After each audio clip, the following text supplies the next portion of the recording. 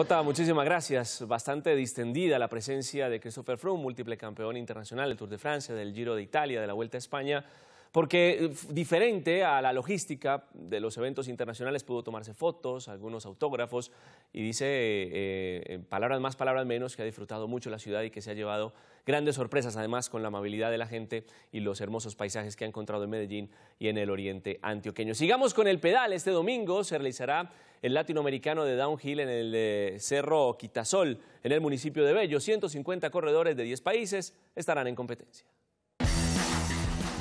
El espectáculo del descenso en bicicleta se vivirá este fin de semana en el municipio de Bello con la gran final de la Copa Latinoamericana de Downhill en el Cerro Quitasol. Deportistas de 10 países competirán en el trazado cercano al Parque de las Cometas. Es muy legal para el público porque es muy perto, acerca de, de la, toda la ciudad, entonces el público presente también se ficará bien satisfecho. Los deportistas locales también descenderán por las empinadas laderas del Cerro Quitasol.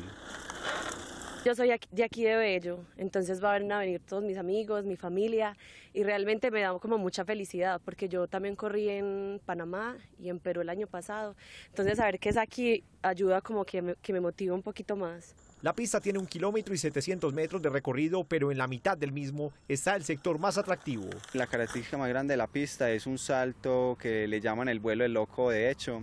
Es un vuelo que tiene aproximadamente 13 metros y pasa pues como un cañón. Entonces es bastante atractivo como para el público. 150 corredores de toda Latinoamérica competirán este fin de semana desde las 10 de la mañana en las clasificatorias.